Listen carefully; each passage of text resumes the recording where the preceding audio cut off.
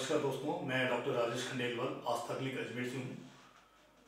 दोस्तों, मैं पिछले 20 साल से सफ़ेद दाग और अन्य चर्म रोगों का इलाज कर रहा हूँ, जिसमें सफ़ेद दाग है सोराइसिस है, एक्जिमा है, बालों की समस्या है। मैं आज आपको अपने एक सफ़ेद दाग के पेशेंट से मिलवाना चाहता हूँ, जो गुजरात से हैं। ये इससे इसका इलाज के पहले का फ़ोटो है दोस्तों।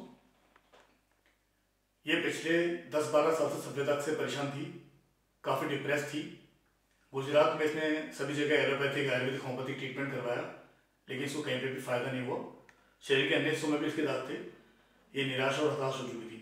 जब मेरे पास ये सबसे पहले इलाज के लिए तब मुझसे भी इसने बोला कि, सर, मैं काफ़ी हताश हो चुकी हूँ, क्या आप मेरा गारंटी के साथ इलाज करेंगे? तो मैंने इसको काफ़ी समझाया कि मैंने आपको बिल्कुल पॉजिटिव सोच के साथ में अपनी सभ्यता का इलाज करें। दो महीने दवाई ने पहले, दो महीने दवाई में इसको फोर्टी फिफ्टी परसेंट कम से कम इसको आराम आ गया था और ये टोटल दाग इसके सात महीने पूरे ठीक हो गए थे। ये इसका पहले का फ़ोटो ये इसके बाद का फ़ोटो।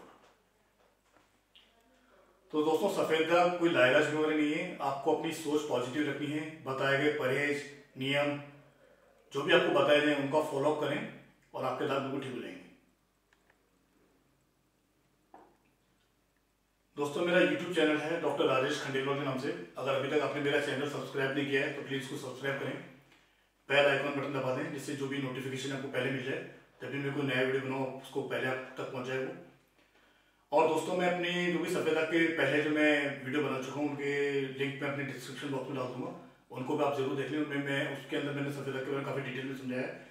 सफ़ेदा के क्या कारण होते हैं सफ़ेदा क्यों होते हैं, किस तरह से ठीक होते हैं।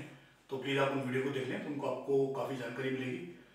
और सफ़ेद दाग से आपको हताशा और परेशान होने की ज़रूरत नहीं है। अगर आप सफ़ेद दाग से एक्जिमा सोराइसिस अगर किसी बीमारी से, किसी भी तरह के चर्म रोग से पीड़ित हैं तो आप मेरे क्लिक पर संपर्क करें, क्लिक के फ़ोन नंबर से संपर्क करें, मेरा ईमेल आईडी पर मुझे संपर्क कर सकते हैं। ये सारी डिटेल आपको डिस्क्रिप्शन बॉक्स में मिल जाएगी और आप शुरू, अपना सफेदा का इलाज शुरू करके जल्दी से इस रोग से छुटकारा पा सकते हैं दोस्तों। धन्यवाद।